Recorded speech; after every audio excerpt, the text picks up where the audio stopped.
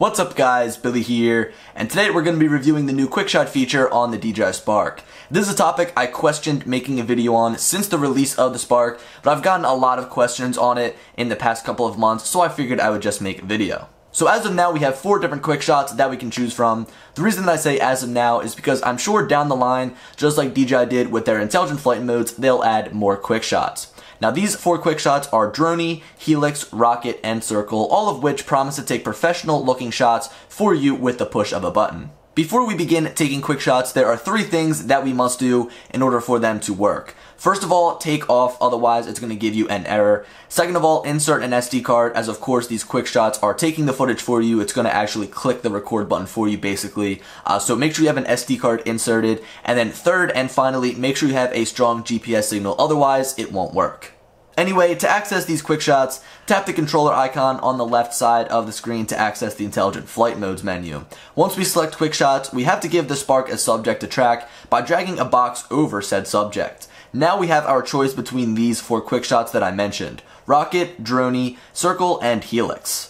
To start off this tutorial, let's go over Rocket, which simply commands the Spark to fly straight up in the air, revealing the surrounding area. Recording starts as soon as you tap go, so don't be worried about forgetting to actually capture your footage. Something I noticed about this quick shot and the rest of the quick shots is that it begins flying upwards at a slow speed and then steadily increases as it goes higher. This adds a cool touch to the shot. There are two more things I want to point out located on the screen. First of all is the red X button on the left side. This stops the quick shot, bringing the spark to a hover. Use this in case you notice that the drone is flying towards an obstacle. Next is the percentage completed located on the right side underneath of the record and shutter button. This lets you know how much longer you have to wait until the quick shot is done.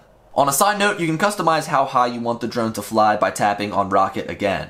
The maximum height is 90 meters, which is roughly 300 feet. I really wish that the max was 400 feet, but oh well. Next up we have Helix, which flies a spiraling circle upwards. This is by far my favorite quick shot because of how dynamic it is, but the only problem is that you need a lot of space. Basically, you just need to be extra careful of obstacles when using this quick shot. To get things started, highlight your subject and press go, just like you did with the rocket quick shot. Resembling the rocket quick shot, you can cancel by tapping the red X on the left and view the percentage progress underneath of the record and shutter button on the right.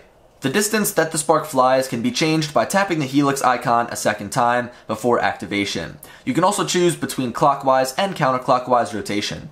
The next quick shot is circle, which simply flies a circle around the selected subject. Begin by manually setting your height and distance from the subject using your remote or mobile device. Select your subject as usual and tap go to begin the quick shot. This reminds me of a quicker version of the point of interest intelligent flight mode, but one of my complaints is the abrupt stop that it comes to at the end. It's like you can only use part of the footage if you want it to look cinematic. Just like with Rocket, we have some customization options when clicking on the circle icon a second time. Unfortunately, all we can do is switch between clockwise and counterclockwise. I wish there was a way to choose how many circles you wanted the spark to do. Right now, it is only limited to one. The final quick shot that we have is Dronie, which essentially flies the spark backwards and upwards simultaneously while keeping the camera locked on the subject of your choice. After you lock onto the subject and press go, the spark begins its course. Just like the rest of the quick shot, you can cancel by tapping the red X on the left and view the progress percentage underneath of the record and shutter button on the right. If you wish to change the distance, you can do so just like you would for Rocket and Helix by tapping on the Dronie icon a second time. At the end of each quick shot, the drone will slowly return to you on the same path that it already flew. This is very convenient, especially when you're doing something like Helix and you put the distance all the way up to 150 meters and it's super far from you. Again, it is very convenient to have the spark just fly right back to you. So there we have it, those are all four quick shots, quickly explained. A lot of these can easily be done manually, but for starters, these are perfect. If you haven't tried these out, I would definitely give them a try because it certainly can't hurt. Anyway, that does it for me today. Be sure to check me out on Instagram, Twitter, and Facebook as I have been trying to be a lot more active on all of my social media platforms. But guys, I hope you enjoyed the video, and as always, I'll talk to you later. Peace.